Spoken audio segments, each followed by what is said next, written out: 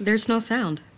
Yep, I got it, guys. Volume up, not the one. It's one. Did you try this one? No, that's for the TV. See, we need the one for the Just turn the volume up on the TV. It doesn't work like that because the sound's going from the TV to the speakers in an aux What's cord. an aux okay. cord? It never This works. one has no battery. Great. Everybody up, it's in the couch. I know that there's a remote in here. Believe in me, I can find this.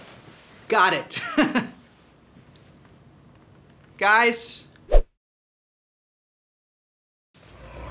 Alexa, turn up the volume.